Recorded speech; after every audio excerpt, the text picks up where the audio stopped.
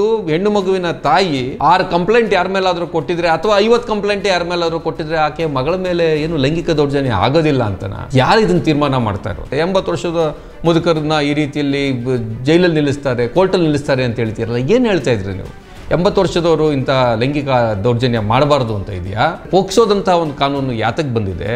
ಒಂದು ಅಂತಾರಾಷ್ಟ್ರೀಯ ಸನ್ನದು ಏನು ಬಂತು, ಅದು ಯಾಕೆ ಬಂತು, ಅದಕ್ಕೆ ನಮ್ಮ ದೇಶದ ಸರ್ಕಾರ ಯಾಕೆ ಸೈನ್ ಆಗ್ತು, ಇದನ್ನು ಅರ್ಥ ಮಾಡಿಕೊಂಡು ನಾವು ಮನುಷ್ಯರಾಗೋ ಕಡೆಗೆ ಇನ್ನಷ್ಟು ಹೋಗಬೇಕಾಗಿದೆ.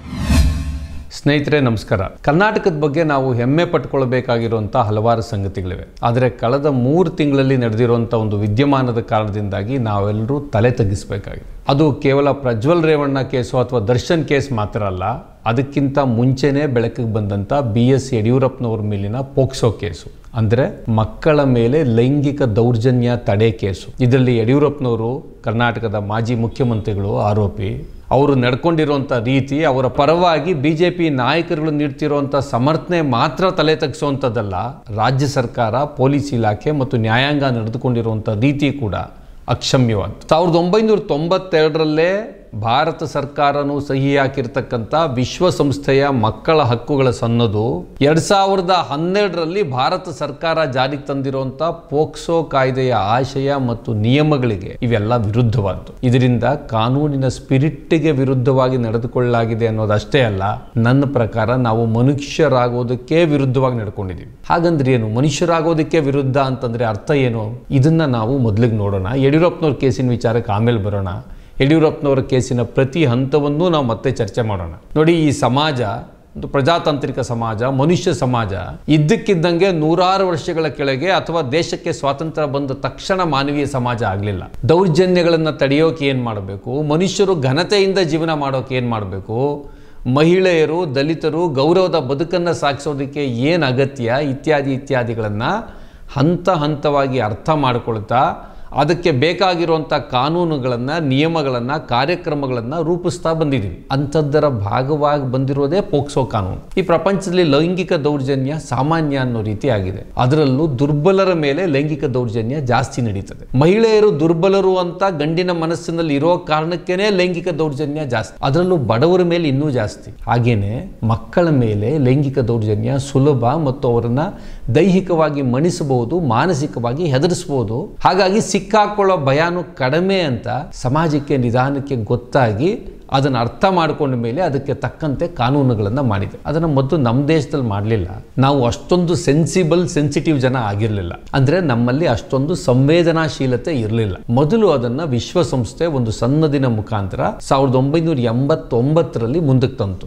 ಅದು ವಿಶ್ವಸಂಸ್ಥೆಯ ಸಾಮಾನ್ಯ ಮಂಡಳಿಯ ಸಮಾವೇಶದಲ್ಲಿ ಮಕ್ಕಳ ಹಕ್ಕುಗಳ ಕುರಿತಾದಂಥ ಒಂದು ಸಮ್ಮೇಳನದಲ್ಲಿ ಒಂದು ನಿರ್ಣಯ ಮಾಡಿ ಅದಕ್ಕೆ ಭಾರತ ಸಾವಿರದ ಒಂಬೈನೂರ ತೊಂಬತ್ತೆರಡರ ಡಿಸೆಂಬರ್ ಹನ್ನೊಂದಕ್ಕೆ ಸಹಿ ಮಾಡಿತು ಇದು ನಾನು ಹೇಳ್ತಿರೋದಲ್ಲ, ಪೋಕ್ಸೋ ಕಾಯ್ದೆಯ ಆರಂಭದಲ್ಲೇ, ಅಂದರೆ ಅದರ ಪ್ರಸ್ತಾವನೆಯಲ್ಲೇ ಇದನ್ನು ಹೇಳಲಾಗಿದೆ. ಆ ಅಂತಾರಾಷ್ಟ್ರೀಯ ಸನ್ನದಿನ ಆರ್ಟಿಕಲ್ ಹತ್ತೊಂಬತ್ತು ಮತ್ತು ಆರ್ಟಿಕಲ್ ಮೂವತ್ನಾಲ್ಕರಲ್ಲಿ ಮಕ್ಕಳ ಮೇಲೆ ಲೈಂಗಿಕ ದೌರ್ಜನ್ಯ ತಡೆಯೋದಕ್ಕೆ ಸರ್ಕಾರ ಏನೇನು ಮಾಡಬೇಕು ಅನ್ನೋದನ್ನ ಹೇಳಲಾಗಿದೆ. ಅಲ್ಲಿಗೆ ಸಹಿ ಹಾಕದ ಮೇಲೆ ಇಪ್ಪತ್ತು ವರ್ಷದ ನಂತರ ನಮ್ಮ ದೇಶ ಎಚ್ಚೆತ್ತುಕೊಂಡು ಎರಡ್ ಸಾವಿರದ ಹನ್ನೆರಡರಲ್ಲಿ ಪೋಕ್ಸೋ ಕಾನೂನನ್ನ ಜಾರಿಗೆ ತಂತು. ಅಂದ್ರೆ ನಾವು ಮನುಷ್ಯರಾಗೋದಕ್ಕೆ ಎಷ್ಟು ತಡ ಮಾಡ್ತೀವಿ ಅಂತ ನೋಡಿ. ಮನುಷ್ಯರಾಗೋದಕ್ಕೂ ಇದಕ್ಕೂ ಏನ್ ಸಂಬಂಧ? ಏನ್ ಸಂಬಂಧ ಅಂದ್ರೆ ದುರ್ಬಲರ ಮೇಲೆ ಮಕ್ಕಳಂತಹ ದೈಹಿಕವಾಗಿ ದುರ್ಬಲರಾದವರು ಯಾವಾಗ ಬೇಕಾದರೂ ದೌರ್ಜನ್ಯಕ್ಕೆ ಒಳಗಾಗದವರ ರಕ್ಷಣೆ ಮಾಡಬೇಕು ಅಂತ ಅನ್ಸೋದು ಒಂದು ಇನ್ಸ್ಟಿಂಕ್ಟ್ ಮಾತ್ರ ಅಲ್ಲ. ಅದು ಒಂದು ಸಮಾಜದಲ್ಲಿ ಮಾನವೀಯತೆ ಬೆಳೀತಾ ಬೆಳೀತಾ ಅದಕ್ಕೊಂದು ಕಾನೂನಿನ ಅಗತ್ಯ ಇದೆ ಮತ್ತು ಆ ಕಾನೂನು ದೊಡ್ಡವರಿಗಿರೋ ಕಾನೂನು ಥರ ಇದ್ರೆ ಸಾಕಾಗಲ್ಲ.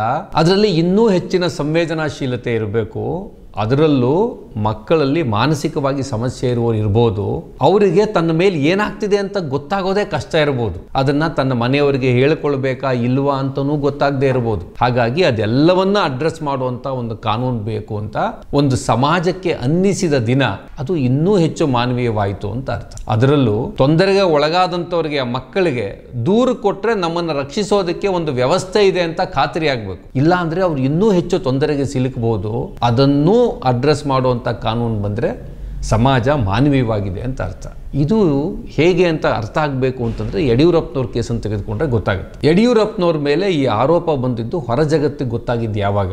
ಮಾರ್ಚ್ ಹದಿನೈದನೇ ತಾರೀಕು, ಎರಡು ಸಾವಿರದ ಇಪ್ಪತ್ನಾಲ್ಕನೇ ಇಸ್ವಿ. ಸದಾಶಿವನಗರ ಪೊಲೀಸ್ ಠಾಣೆಯಲ್ಲಿ ಯಡಿಯೂರಪ್ಪನವ್ರ ವಿರುದ್ಧ ಒಂದು ತಾಯಿ ಮತ್ತು ಮಗಳು ಲೈಂಗಿಕ ದೌರ್ಜನ್ಯದ ದೂರನ್ನು ಕೊಡೋಕೆ ಹೋಗಿದಾರಂತೆ ಮತ್ತು ಪೊಲೀಸರು ಅವರ ದೂರನ್ನ ದಾಖಲಿಸ್ಕೊಳ್ತಾ ಇಲ್ಲ ಅಂತ ಹೊರಗಡೆ ಜಗತ್ತಿಗೆ ಗೊತ್ತಾಯ್ತು. ಆಗ ಸ್ಟೇಷನ್ಗೆ ಹೋದಾಗ ಅದು ನಿಜ ಅಂತ ಮಾಧ್ಯಮದವ್ರಿಗೆ ಗೊತ್ತಾಯ್ತು. ಅಷ್ಟೊತ್ತಿಗೆ ಆ ತಾಯಿ ಮತ್ತು ಮಗಳು ಸ್ಟೇಷನ್ಗೆ ಹೋಗಿ ಹಲವಾರು ಗಂಟೆಗಳಾಗ್ಬಿಟ್ಟಿತ್ತು. ಮಾಧ್ಯಮದವರು ಹೋಗಿದ್ದರಿಂದಲೇ ಕೇಸ್ ದಾಖಲಾಯಿತು. ಅಷ್ಟೇ ಅಲ್ಲ, ಯಾವ ಹುಡುಗಿಯ ಮೇಲೆ ದೌರ್ಜನ್ಯ ನಡೆದಿದೆ ಅಂತ ಹೇಳಲಾಯಿತು ಆ ಹುಡುಗಿ ಅಪ್ರಾಪ್ತ ವಯಸ್ಸಿಗೆ ಆದ್ದರಿಂದ ಪೋಕ್ಸೋ ಸೆಕ್ಷನ್ಗಳನ್ನು ಕೂಡ ಹಾಕಲಾಯಿತು. ಯಡಿಯೂರಪ್ಪನವ್ರ ಮನೆ ಧವಳಗಿರಿ ಅಲ್ಲಿಂದ ಒಂದು ಒಂದೂವರೆ ಕಿಲೋಮೀಟರ್ ದೂರ ಇರ್ಬೋದು. ಅವತ್ತೇ ರಾತ್ರಿ ಅವರ ಬಂಧನ ಆಗ್ಬೋದು ಅಂತ ಬಹಳ ಜನ ಅನ್ಕೊಂಡ್ರು. ಅಂಥದ್ದೇನೂ ಆಗಲಿಲ್ಲ. ಬದಲಿಗೆ ಮರುದಿನ ಮಾಜಿ ಮುಖ್ಯಮಂತ್ರಿ ಯಡಿಯೂರಪ್ಪನವರು ತಮ್ಮ ಮನೆ ಮುಂದೆ ಪತ್ರಿಕಾಗೋಷ್ಠಿ ಕರೆದ್ರು. ಆ ಪತ್ರಿಕಾಗೋಷ್ಠಿಯಲ್ಲಿ ಅವರು, ಚುನಾವಣೆಯಲ್ಲಿ ಹೇಗೆ ನಾವು ಗರಿಷ್ಠ ಸೀಟುಗಳನ್ನ ಗೆಲ್ತೀವಿ, ಅದರ ಬಗ್ಗೆ ತಮ್ಗೆ ಯಾವ ಥರದ ಕಾನ್ಫಿಡೆನ್ಸ್ ಇದೆ ಅನ್ನೋದ್ರ ಬಗ್ಗೆ ಅತ್ಯಂತ ಆತ್ಮವಿಶ್ವಾಸದಿಂದ ಮಾತಾಡಿದ್ರು. ಆಮೇಲೆ ಯಾರೋ ಪ್ರಶ್ನೆ ಕೇಳಿದ್ರು ನಿಮ್ಮ ಮೇಲೆ ಈ ತರ ಒಂದು ಪೋಕ್ಸೋ ಕೇಸ್ ಆಗಿದೆ ಅಂತ.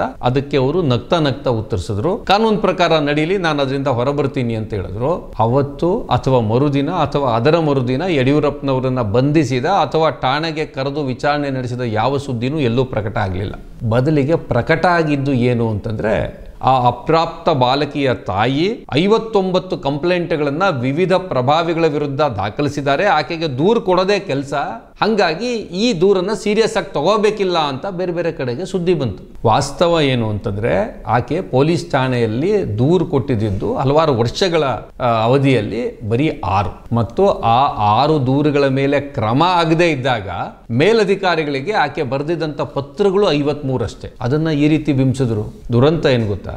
ದೂರಿನ ಸುದ್ದಿ ಅಂದರೆ ಆಕೆ ಪೋಕ್ಸೋ ಕೇಸು ಕಂಪ್ಲೇಂಟ್ ಕೊಟ್ಟಿದ್ದ ಸುದ್ದಿ ಎಲ್ಲ ಮಾಧ್ಯಮಗಳಿಗೆ ತಲುಪೋಕೆ ಮುಂಚೆನೆ ಈ ಐವತ್ತೊಂಬತ್ತು ದೂರುಗಳ ಪಟ್ಟಿ ಎಲ್ರಿಗೂ ತಲುಪಿತ್ತು. ಮತ್ತು ಆಕೆ ಒಂಥರ ಹ್ಯಾಬಿಚುವಲ್ ಆಗಿ ಪದೇ ಪದೇ ಕಂಪ್ಲೇಂಟ್ ಕೊಡ್ತಾರೆ ಅನ್ನೋ ರೀತಿ ಒಳಗಡೆ ಬಿಂಬಿಸಲಾಯಿತು. ಆ ರಾತ್ರಿ ತಾಯಿ ಮಗಳು ಸದಾಶಿವನಗರ ಪೊಲೀಸ್ ಠಾಣೆಯಲ್ಲಿ ದೂರು ಕೊಡೋದಕ್ಕೆ ಒದ್ದಾಡ್ತಾ ಇದ್ದ ಸಂದರ್ಭದಲ್ಲೇ ಪೊಲೀಸ್ ಇಲಾಖೆಯಲ್ಲಿ ಯಡಿಯೂರಪ್ಪನವರ ಬಂಟರಿಗೆ ಈ ಐವತ್ತೊಂಬತ್ತು ದೂರುಗಳ ಪಟ್ಟಿಯನ್ನು ಹೆಕ್ಕಿ ತೆಗೆದು ಅದನ್ನ ನೀಟಾಗಿ ಟೇಬಲ್ ಮಾಡಿ, ಡಿಸೈನ್ ಮಾಡಿ ಪ್ರಿಂಟ್ಔಟ್ ಕೊಟ್ಟವ್ರು ಯಾರು? ಇದು ಏನಂತ ತೋರಿಸುತ್ತೆ? ಇಲ್ಲೇ ನೀವು ಯೋಚಿಸಬೇಕು, ಪ್ರಬಲರು ಮತ್ತು ದುರ್ಬಲರ ನಡುವೆ ಒಂದು ಕದನ ಶುರುವಾದರೆ ಏನೇನಾಗುತ್ತೆ ಅಂತ. ಹಾಗಾಗಿನೇ ಪೋಕ್ಸೋ ಕೇಸ್ನಲ್ಲಿ ಮಕ್ಕಳ ರಕ್ಷಣೆಗೆ ಹಲವಾರು ಸೂಚನೆಗಳಿವೆ. ಒಂದು ಕಂಪ್ಲೇಂಟ್ ಬಂದ ತಕ್ಷಣ ಏನೇನು ಮಾಡಬೇಕು ಅಂತ ಇದೆ. ಹಲವಾರು ಸೂಚನೆಗಳಿವೆ. ಅಂತಹ ಯಾವ ಸೂಚನೆಯೂ ಕೂಡ ಇಲ್ಲಿ ಸನ್ಮಾನ್ಯ ಬಿ ಎಸ್ ಯಡಿಯೂರಪ್ಪನವ್ರ ವಿರುದ್ಧ ದೂರದಲ್ಲಿ ದಾಖಲಾದಂಥ ಈ ಕೇಸ್ನಲ್ಲಿ ಕೆಲಸಕ್ಕೆ ಬರಲಿಲ್ಲ. ಉದಾಹರಣೆಗೆ ನೋಡಿ ಇಲ್ಲಿ, ಪೋಕ್ಸೋ ಕೇಸಿನ ಒಂಬತ್ತು ಕೆ ಯಲ್ಲಿ ಈ ರೀತಿ ಹೇಳಲಾಗುತ್ತೆ whoever taking advantage of a child's mental or physical disability commit sexual assault on the child ಮತ್ತೆ ನೈನ್ ಪಿ ನಲ್ಲಿ whoever being in a position of trust or authority of a child commit sexual assault on the child in an institution or home of the child or anywhere else is said to commit aggravated sexual assault ಅಂತ. ಈ aggravated sexual assault ಅಂದ್ರೆ ಏನು ಅಂತನೂ ರಾಷ್ಟ್ರೀಯ ಮಾನವ ಹಕ್ಕುಗಳ ಆಯೋಗ ಈ ರೀತಿಯಲ್ಲಿ ವಿವರಿಸುತ್ತೆ. Where the offence sexual assault is committed by certain persons or in certain circumstances, the offense is said to become aggravated. That is, it becomes more serious and the punishment is much greater. ಯಾಕೆ ಹಿಂಗೆ? ಒಬ್ಬ ವ್ಯಕ್ತಿ ಮೇಲೆ ವಿಶ್ವಾಸ ಇಟ್ಟಾಗ ಆತ ತಮಗೆ ರಕ್ಷಣೆ ಕೊಡಬಹುದು ಅಂತ ಹೋದಾಗ ಆತನೇ ಲೈಂಗಿಕ ದೌರ್ಜನ್ಯ ಎಸಗಿದ್ರೆ ಅದು ತೀವ್ರ ತರದ ಅಪರಾಧ ಅಗ್ರವೇಟೆಡ್ ಸೆಕ್ಷುವಲ್ ಅಸಾಲ್ಟ್ ಅಂತ ಪುಕ್ಸು ಹೇಳುತ್ತೆ. ಅಷ್ಟೇ ಅಲ್ಲ, ಒಂದು ವೇಳೆ ಆ ಮಗುವಿಗೆ ಮಾನಸಿಕ ಮತ್ತು ದೈಹಿಕ ದೌರ್ಬಲ್ಯ ಇದ್ರೆ, ಅದೇನಾದ್ರೂ ಮೆಂಟಲಿ ಅಬ್ನಾರ್ಮಲ್ ಇದ್ರೆ, ಆಗ ಆಕೆಯ ಮೇಲೆ ನಡೆಯುವಂತ ಲೈಂಗಿಕ ದೌರ್ಜನ್ಯ ಇನ್ನೂ ತೀವ್ರ ತರದ ಲೈಂಗಿಕ ದೌರ್ಜನ್ಯ ಅದಕ್ಕೆ ಇನ್ನೂ ಹೆಚ್ಚಿನ ಶಿಕ್ಷೆ ಆಗಬೇಕು ಅಂತ ಪೊಕ್ಸೋ ಹೇಳುತ್ತೆ. ಪೊಕ್ಸೋ ಕಾಯ್ದೆಯ ಹತ್ತನೇ ಪಾಯಿಂಟ್ ಇದನ್ನು ಹೇಳುತ್ತೆ. Whoever commits aggravated sexual assault shall be punished with imprisonment of either description for a term which shall not be less than five years but which may extend to seven years and shall also be liable to fine ಏನಿದ್ರ ಅರ್ಥ? ಈ ರೀತಿಯಲ್ಲಿ ಒಂದು ವೇಳೆ ಯಾರ ಮೇಲಾರು ವಿಶ್ವಾಸ ಇಟ್ಟು ನಾವು ಹೋದಾಗ ಒಂದು ವೇಳೆ ಲೈಂಗಿಕ ದೌರ್ಜನ್ಯ ಆದರೆ it is aggravated sexual assault ಯಡಿಯೂರಪ್ಪನವ್ರ ಮೇಲೆ ವಿಶ್ವಾಸ ಇಟ್ಟು ನಾವು ಹೋಗಿದ್ವಿ ಅಂತ ತಾಯಿ ಆರೋಪ ಮಾಡ್ತಾ ಇದ್ದಾರೆ ಅಷ್ಟು ಮಾತ್ರ ಅಲ್ಲ, ಒಂದು ವೇಳೆ ಯಾರಾದರೂ ದೈಹಿಕ ಅಥವಾ ಮಾನಸಿಕವಾಗಿ ದುರ್ಬಲರಾಗಿದ್ರೆ ಅಥವಾ ಅವರು ಅಬ್ನಾರ್ಮಲ್ ಇದ್ರೆ, ಆಗ ಕೂಡ ಆ ಕೇಸು ಅಗ್ರವೇಟೆಡ್ ಸೆಕ್ಷುಯಲ್ ಅಸಾಲ್ಟ್ ಯಾಕೆ ಈ ಕೇಸಲ್ಲಿ ಇದು ಮುಖ್ಯ ಅಂದ್ರೆ, ದೂರು ದಾಖಲಾದ ಮರುದಿನ ರಾಜ್ಯದ ಗೃಹ ಸಚಿವರು ಒಂದು ಹೇಳಿಕೆ ಕೊಟ್ಟರು ಆಕೆಗೆ ಮಾನಸಿಕ ಸ್ಥಿತಿ ಸರಿ ಇಲ್ವಂತೆ ಅಂತ. ಸ್ವಾಮಿ, ಮಾನಸಿಕ ಸ್ಥಿತಿ ಸರಿ ಇಲ್ಲದೆ ಇದ್ರೆ ಇಂತಹ ಲೈಂಗಿಕ ದೌರ್ಜನ್ಯ ಜಾಸ್ತಿ ಆಗುತ್ತೆ. ಒಂದ್ ವೇಳೆ ತಾಯಿಗೆ ಮಾನಸಿಕ ಸ್ಥಿತಿ ಸರಿ ಇಲ್ಲ ಅಂತಂದ್ರೆ ಆಕೆಯ ಅಪ್ರಾಪ್ತ ವಯಸ್ಕ ಹೆಣ್ಣು ಮಕ್ಕಳ ಮೇಲೆ ಲೈಂಗಿಕ ದೌರ್ಜನ್ಯ ಆಗುವ ಸಾಧ್ಯತೆ ಜಾಸ್ತಿ. ನೂರಾರು ಮಹಿಳಾ ಸಂಘಟನೆಗಳು ಇದನ್ನ ಪದೇ ಪದೇ ಪದೇ ಹೇಳಿದ್ದಾರೆ. ಇದು ಈ ಸಮಾಜದಲ್ಲಿ ಬದುಕ್ತಾ ಇದ್ರೆ ಎಲ್ರಿಗೂ ಗೊತ್ತಾಗುತ್ತೆ. ಇದು ನಿಮ್ಗೆ ಗೊತ್ತಾಗದೇ ಇದ್ರೆ ಹಿಂಗೆ? ಗೊತ್ತಾಗಲಿಲ್ಲ. ಬದಲಿಗೆ ದೂರು ಕೊಟ್ಟ ಮಹಿಳೆಯ ಮೇಲೆ, ದೂರು ಕೊಟ್ಟ ಮಹಿಳೆಯ ಮಗಳ ಮೇಲೆ, ಯಾರು ನನ್ನ ಮೇಲೆ ಲೈಂಗಿಕ ದೌರ್ಜನ್ಯ ಆಗಿದೆ ನನ್ನ ಮಗಳ ಮೇಲೆ ಅಪ್ರಾಪ್ತ ವಯಸ್ಕ ಮಗಳ ಮೇಲೆ ಇದಾಗಿದೆ ಅಂತ ಹೇಳಿದರೆ, ಅವರ ಮೇಲೆ ದಾಳಿ ನಡೆಸಲಾಯಿತು. ಅವರ ಕ್ಯಾರೆಕ್ಟರ್ ಅಸಾಸಿನೇಷನ್ ಮಾಡಲಾಯಿತು. ಇದಾದ ಮೇಲೆ ಈ ಕೇಸನ್ನು ಸಿ ಐ ಡಿ ಕೊಡಲಾಯಿತು.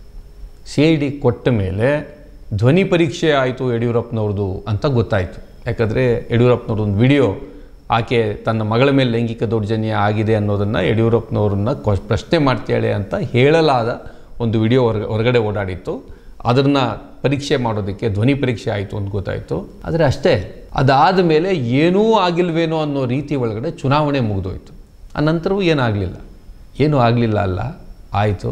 ಆಕೆ ತೀರ್ಕೊಂಡ್ರು. ತನ್ನ ಮಗಳ ಮೇಲೆ ಈ ರೀತಿ ಲೈಂಗಿಕ ದೌರ್ಜನ್ಯ ಆಯಿತು ಅಂತ ಹೇಳಿದ ಆಕೆ ತೀರಿಕೊಂಡ್ರು. ತೀರಿಕೊಳ್ಳುವುದಕ್ಕೆ ಮುಂಚೆ ಆಕೆ ಇಪ್ಪತ್ತು ಪುಟದ ಒಂದು ಪತ್ರ ಬರೆದಿದ್ಲು. ಆ ಇಪ್ಪತ್ತು ಪುಟದ ಪತ್ರದಲ್ಲಿ ತನ್ನ ಮೇಲೆ ಮತ್ತೆ ಯಾವ ರೀತಿಯಲ್ಲಿ ಕಿರುಕುಳ ಆಗ್ತಿದೆ, ನಾನು ಯಾರ ಮೇಲೆ ದೂರು ಕೊಟ್ಟಿದ್ದೀನೋ ಅವರು ಯಡಿಯೂರಪ್ಪನವರು ಮತ್ತು ಅವರು ಬಂಟರು ತನಗೆ ಪದೇ ಪದೇ ಯಾವ ರೀತಿಯಲ್ಲಿ ಫೋನ್ ಮಾಡ್ತಾರೆ, ಇದೆಲ್ಲವನ್ನೂ ಕೂಡ ಆಕೆ ಅದ್ರಲ್ಲಿ ಬರೆದಿದ್ದು, ಬರೆದ ಮೇಲೆ ಎರಡು ದಿನ ಬಿಟ್ಟು ವಕೀಲರನ್ನ ಭೇಟಿ ಆಗಬೇಕಾಗಿತ್ತು ಅದಕ್ಕೆ ಮುಂಚೆ ಆಕೆ ತೀರ್ಕೊಂಡ್ರು. ತೀರ್ಕೊಂಡಿದ್ದಕ್ಕೆ ಆಕೆಗೆ ಅನಾರೋಗ್ಯ ಇದ್ದಿದ್ದ ಕಾರಣ ಅಂತ ಹೇಳಲಾಗ್ತಿದೆ. ಆ ವಿಚಾರದ ಬಗ್ಗೆ ಏನಾದ್ರು ತನಿಖೆ ನಡೆದರೆ ಅಸಲಿ ವಿಚಾರ ಗೊತ್ತಾಗಬೇಕು. ಆದರೆ ಇದಾದ ಮೇಲೆ ಆಕೆಯ ಮಗ ಆತ ಕೋರ್ಟಿಗೆ ಹೋದ. ಕೋರ್ಟಿಗೆ ಯಾಕೆ ಹೋಗಿದ್ದು ಅಂದರೆ, ನನ್ನ ತಾಯಿ ಮೇಲೆ ಈ ರೀತಿ ಕಿರುಕುಳ ಆಗ್ತಿತ್ತು. ಕಂಪ್ಲೇಂಟ್ ವಾಪಸ್ ತೊಗೋಬೇಕು ಅಂತ. ನನ್ನ ಮೇಲೂ ಕೂಡ ಅದೇ ರೀತಿಯಲ್ಲಿ ಆಗ್ತಾ ಇದೆ. ನನ್ನ ತಾಯಿ ಬರೆದ ಇಪ್ಪತ್ತು ಪುಟದ ಪತ್ರ ಈ ರೀತಿ ಒಳಗಡೆ ಇದೆ. ಈ ಪತ್ರವನ್ನು ನೀವು ನೋಡಿ ಅಂತೇಳಿ ಅವರು ಬಹುಶಃ ಜೂನ್ ಹತ್ತನೇ ತಾರೀಕಿಗೆ ಕೋರ್ಟ್ಗೆ ಹೋದರು. ಹೈಕೋರ್ಟ್ನಲ್ಲಿ ಕೇಸನ್ನು ದಾಖಲು ಮಾಡಿದ್ರು. ಕೇಸು ಲಿಸ್ಟ್ ಆಗಿ ಬರಬೇಕಿತ್ತು.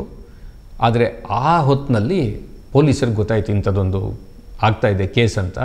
ಅವರು ಆರೋಪಿಗೆ, ಯಡಿಯೂರಪ್ಪನವ್ರಿಗೆ ಅವರು ಹೋಗಿ ನಾವು ಚಾರ್ಜ್ ಶೀಟ್ ಮಾಡಬೇಕು ಅಂತೇಳಿ ಅವ್ರಿಗೆ ನೋಟಿಸ್ ಕೊಡಬೇಕಿತ್ತು ಅದನ್ನೇ ಕೊಟ್ಟಿರಲಿಲ್ಲ, ಅದನ್ನು ಹೋಗಿ ಕೊಟ್ಟರು ಈ ನಲವತ್ತೊಂದು ಎ ನೋಟಿಸನ್ನು ಅವರಿಗೆ ಕೊಟ್ಟ ಮೇಲೆ ಯಡಿಯೂರಪ್ಪನವರು ಸೀದಾ ಡೆಲ್ಲಿಗೆ ಒಂದು ಟಿಕೆಟ್ ಬುಕ್ ಮಾಡಿಕೊಂಡು ಅವರು ಡೆಲ್ಲಿಗೆ ಹೋದರು. ಡೆಲ್ಲಿಗೆ ಹೋದ್ಮೇಲೆ ಅವರನ್ನು ದೆಹಲಿಗೆ ಹೋಗಿ ಅರೆಸ್ಟ್ ಮಾಡ್ಕೊಂಡು ಬರಬೇಕು ಅಂತಂದರೆ ತಮಗೆ ವಾರಂಟ್ ಬೇಕು.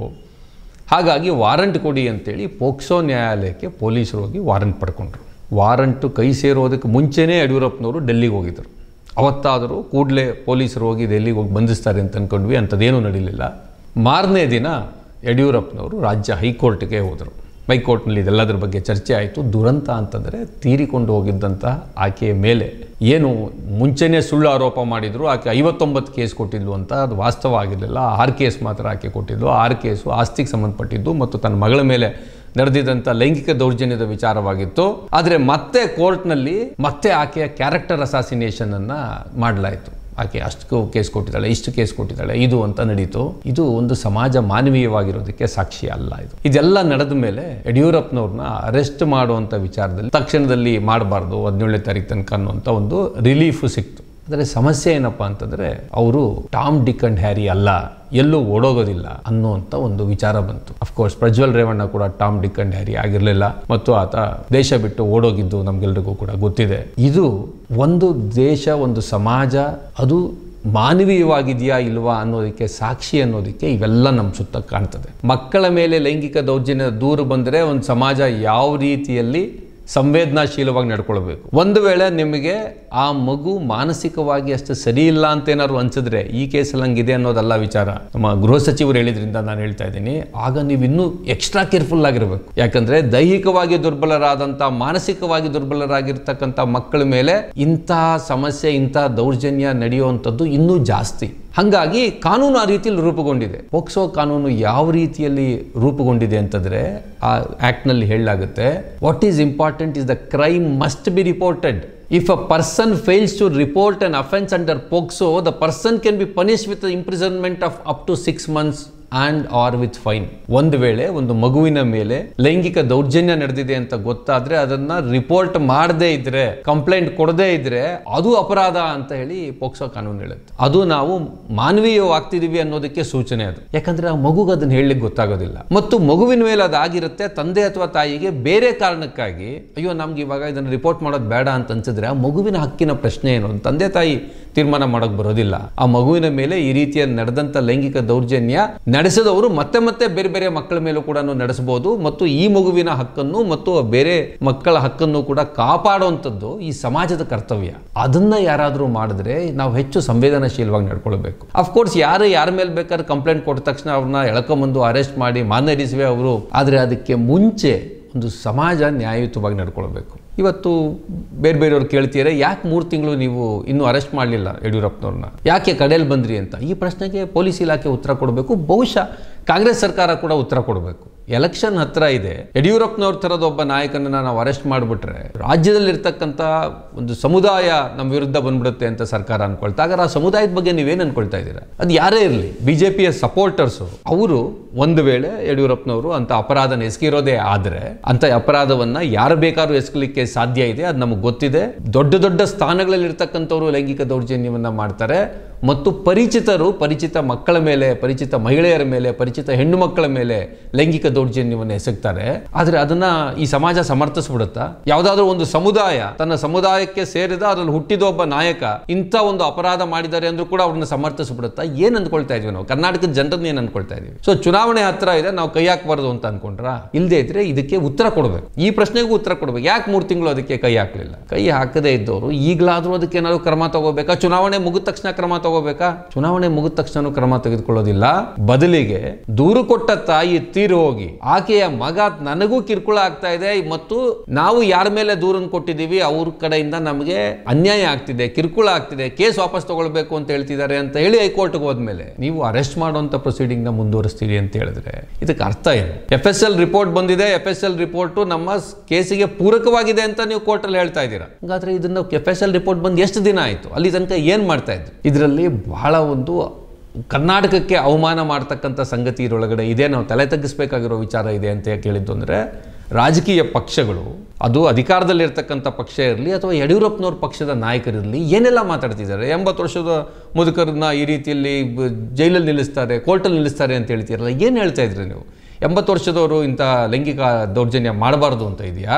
ಒಂದ್ ವೇಳೆ ಯಾರಾದರೂ ಒಂದು ಹೆಣ್ಣು ಮಗುವಿನ ತಾಯಿ ಆರು ಕಂಪ್ಲೇಂಟ್ ಯಾರ ಮೇಲಾದರೂ ಕೊಟ್ಟಿದ್ರೆ ಅಥವಾ ಐವತ್ತು ಕಂಪ್ಲೇಂಟ್ ಯಾರ ಮೇಲಾದರೂ ಕೊಟ್ಟಿದ್ರೆ ಆಕೆ ಮಗಳ ಮೇಲೆ ಏನು ಲೈಂಗಿಕ ದೌರ್ಜನ್ಯ ಆಗೋದಿಲ್ಲ ಅಂತನ? ಯಾರು ಇದನ್ನ ತೀರ್ಮಾನ ಮಾಡ್ತಾ ಇರೋದು? ಆ ರೀತಿಯ ತೀರ್ಮಾನವನ್ನ ಈ ದೂರು ದಾಖಲಾದ ಮರುದಿನ ಈ ರಾಜ್ಯದ ಗೃಹ ಸಚಿವರು ಯಾವ ರೀತಿಯಲ್ಲಿ ಸಾರ್ವಜನಿಕವಾಗಿ ಮಾಡ್ತಾರೆ? ಈ ವಿಚಾರದಲ್ಲಿ ನಾವು ಹೆಚ್ಚು ಮಾನವೀಯವಾಗಿರಬೇಕು ಅಂತಂದ್ರೆ ಅಫ್ಕೋರ್ಸ್ ಯಾರನ್ನು ಅಪರಾಧಿ ಅಂತ ಈಗಲೇ ತೀರ್ಮಾನ ಮಾಡಬೇಕಿಲ್ಲ.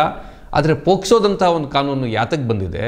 ಒಂದು ಅಂತಾರಾಷ್ಟ್ರೀಯ ಸನ್ನದು ಏನು ಬಂತು, ಅದು ಯಾಕೆ ಬಂತು, ಅದಕ್ಕೆ ನಮ್ಮ ದೇಶದ ಸರ್ಕಾರ ಯಾಕೆ ಸೈನ್ ಆಗ್ತು, ಇದನ್ನ ಅರ್ಥ ಮಾಡಿಕೊಂಡು ನಾವು ಮನುಷ್ಯರಾಗೋ ಕಡೆಗೆ ಇನ್ನಷ್ಟು ಹೋಗಬೇಕಾಗಿದೆ. ಅದರಲ್ಲೂ ಮಕ್ಕಳ ಮೇಲೆ ನಡೆಯುವಂಥ ಲೈಂಗಿಕ ದೌರ್ಜನ್ಯದ ತಡೆ ಮಾಡಬೇಕು ಅಂತಂದ್ರೆ ನಾವು ಇನ್ನೂ ಹೆಚ್ಚು ಸಂವೇದನಾಶೀಲವಾಗಿ ನಡ್ಕೊಳ್ಬೇಕಿದೆ. ಆ ಸಂವೇದನಾಶೀಲತೆ ಈ ವಿಚಾರದಲ್ಲಿ ಸಂಬಂಧಪಟ್ಟ ಯಾರ ಕಡೆಯಿಂದಲೂ ಕೂಡ ನಡೆದಿಲ್ಲ. ಇದು ಕರ್ನಾಟಕ ತಲೆ ತಗ್ಗಿಸಬೇಕಿರೋ ವಿಚಾರ. ಇನ್ನಾದರೂ ಎಲ್ಲರೂ ಸಂಬಂಧಪಟ್ಟವರು ಎಚ್ಚೆತ್ಕೊಳ್ಬೇಕು. ಆ ರೀತಿಯಲ್ಲಾಗಿ ಕರ್ನಾಟಕ ಇಂಥದೊಂದು ಕೇಸನ್ನ ಸರಿಯಾದ ರೀತಿಯಲ್ಲಿ ನಿಭಾಯಿಸ್ತು ಅಂತ ಕೂಡ ಆಗಬೇಕು. ಬೆಂಗಳೂರಿನ ಪೊಲೀಸರು ಈಗ ದರ್ಶನ್ ಕೇಸ್ನಲ್ಲಿ ತಾವು ಬಹಳ ಒಳ್ಳೆ ಕೆಲಸ ಮಾಡಿದ್ವಿ ಅಂತ ಬೆನ್ನಿಗೆ ತಟ್ಕೊಳ್ತಿದ್ದಾರೆ. ಖಂಡಿತವಾಗ್ಲೂ ಕೂಡ ಅದು ಒಳ್ಳೆಯದು. ಆದರೆ ಇದು ಎಲ್ಲ ಕೇಸುಗಳಿಗೂ ಆಗಬೇಕು. ಯಡಿಯೂರಪ್ಪನವರು, ಟಾಮ್ ಡಿಕ್ ಅಂಡ್ ಹ್ಯಾರಿ ಎಲ್ಲ ಓಡೋಗ್ಬಿಡ್ತಾರೆ. ಅರವಿಂದ್ ಕೇಜ್ರಿವಾಲ್ ಅವರು ಟಾಮ್, ಹೇಮಂತ್ ಸೊರೇನ್ ಅವರು ಡಿಕ್ ಅಂಡ್ ಹ್ಯಾರಿ. ಈ ರೀತಿ ಒಳಗಡೆ ನಡ್ಕೊಳ್ಳುವಂಥ ಒಂದು ಬೇರೆ ಬೇರೆ ರೀತಿಯ ಏನು ನಮ್ಮ ಕಣ್ಮುಂದೆ ಕಾಣ್ತಾ ಇದೆ. ಅನ್ಯಾಯ ಇದು ಕೂಡ ಗಾಬರಿಗೊಳಿಸುತ್ತೆ. ಆ ರೀತಿ ಗಾಬರಿ ಆಗದ ರೀತಿ ಒಳಗಡೆ ಈ ಸಮಾಜ ಮನುಷ್ಯತ್ವವನ್ನು ಮತ್ತು ನ್ಯಾಯವನ್ನು ಎಲ್ಲರಿಗೂ ಸರಿಸಮಾನವಾಗಿ ದಾಟಿಸ್ಲಿ ಅಂತ ಆಶಿಸೋಣ. ನಮಸ್ಕಾರ. ಮತ್ತಷ್ಟು ವಿಶೇಷ ವಿಡಿಯೋಗಳನ್ನು ನೋಡಲು ಮತ್ತು ಹೊಸ ವಿಡಿಯೋಗಳ ಬಗ್ಗೆ ತಿಳಿಯಲು ಈ ದಿನ dot com YouTube channel subscribe ಮಾಡಿ ಮತ್ತು ಬೆಲ್ ಐಕಾನ್ ಕ್ಲಿಕ್ ಮಾಡಿ.